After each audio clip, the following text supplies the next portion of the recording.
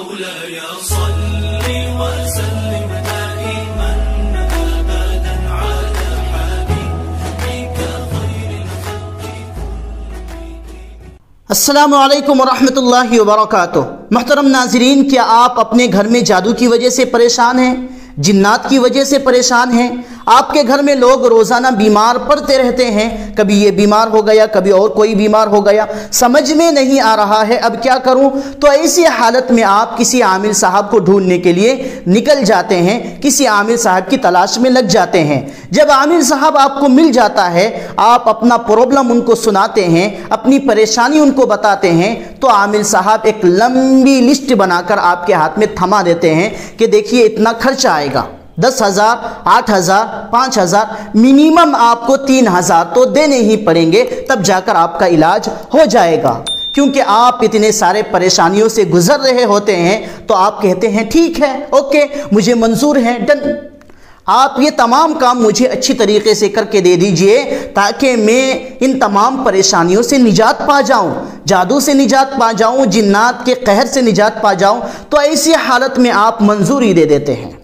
پھر عامل صاحب کہتا ہے آپ کو کہ آپ جائیے آج گھر کو، کل آئیے، میں آپ کا کام اچھی طریقے سے کر کے رکھوں گا۔ بہت زبردست انداز میں آپ کا کام کر کے رکھوں گا۔ ٹھیک ہے، میں کل آؤں گا۔ آپ چلے آتے ہیں۔ پھر عامل صاحب کیا کرتے ہیں؟ چار لیمبو لیتے ہیں۔ لیمبو لینے کے بعد اس کے بعد ہرا کپڑے میں یا لال کپڑے میں باندھ کر اچھی طریقے سے وہ رکھ دیتے ہیں۔ آپ جب دوسرے دن آتے ہیں تو عامل صاحب آپ کو تسلی دیتے ہیں کہ دیکھیے میں نے آپ کا کام بہت ہی زبردست انداز میں کر کے دیا ہے، بہت ہی اچھے انداز میں کر کے دیا ہے۔ اس طریقے سے کام کوئی بھی کر کے نہیں دے گا۔ آپ اس کو لے جائیے، گھر کے چاروں کونے میں اس کو لٹکا دیجیے تو محترم ناظرین، ایسی حالت میں میں آپ کو جو عمل بتانے والا ہوں، عامل صاحب کی بندش سے بھی زیادہ آپ کا عمل کام کرے گا اپنے گھر میں۔ آپ اس عمل کا فوری اثر دیکھیں گے، جو میں آپ کو قرآن کریم کی آیات بتانے والا ہوں۔ اگر ان آیتوں کو پڑھ کر پانی پہ دم کر کے آپ خود اپنے گھر میں چھڑکیں گے، تو بہت ہی جلد آپ ان تمام پریشانیوں سے نجات پا سکتے ہیں۔ آپ کو کسی عامل صاحب کے پاس جانے کی ضرورت نہیں ہے، کسی بابا صاحب کے پاس جانے کی ضرورت نہیں ہے۔ آپ خود اس کا علاج کر سکتے ہیں اپنے گھر میں رہتے ہوئے۔ اگر آپ کو قرآن پاک پڑھنا نہیں آتا ہے تو گھر میں تو کوئی تو پڑھنا جانتے ہوں گے۔ ان سے پڑھوائیے پڑھوانے کے بعد پانی پہ دم کر کے رات کو روزانہ چھڑکیے۔ آپ میں ہنڈریڈ پرسنٹ گارنٹی کے ساتھ کہتا ہوں کہ عامل صاحب کی بندش سے بھی زیادہ آپ کے گھر میں جو عمل ہوگا وہ کام کرے گا۔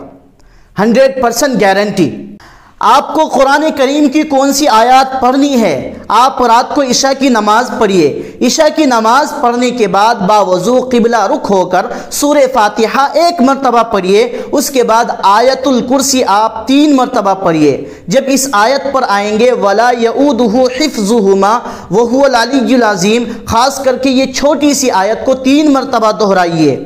اسی طریقے سے آیت الکرسی تین مرتبہ پڑھیں گے اور اس آیت پر جب پہنچیں گے تو وہ آیت تین تین مرتبہ پڑھیں گے، کل نو مرتبہ ہو جائیں گی۔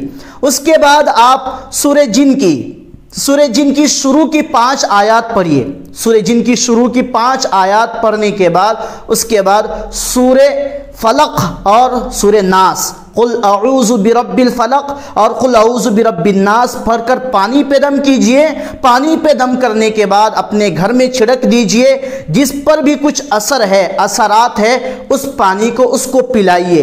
انشاءاللہ ہنڈریڈ پرسنٹ گارنٹی کے ساتھ کہتا ہوں کہ کچھ ہی دنوں میں یہ تمام مصیبتوں سے آپ نجات پا جائیں گے۔ اگر آپ کے اوپر یقیناً کوئی جادو ہے، کچھ اثرات ہے، تو شروع شروع میں مرض بھر سکتا ہے، لیکن آہستہ آہستہ یہ تمام چیزیں دفع ہو جائیں گی۔ تو محترم ناظرین، یہ ہے قرآن کریم کے اعمال کی پاور یہ ہے قرآن کریم کی طاقت۔ آپ اس عمل کو لازمی کیجیے۔ اگر ویڈیو آپ کو اچھی لگی ہے تو آپ ضرورت مندوں تک ضرور پہنچائیں۔ اپنے دوست احباب کو ضرور شیئر کر دے اور اس طریقے کے اپڈیٹس پانے کے لیے ہمارے چینل کو آپ سبسکرائب کر سکتے ہیں اور بیل آئیکن کے بٹن پر کلک کر کے نوٹیفیکیشنز کو آل کر سکتے ہیں۔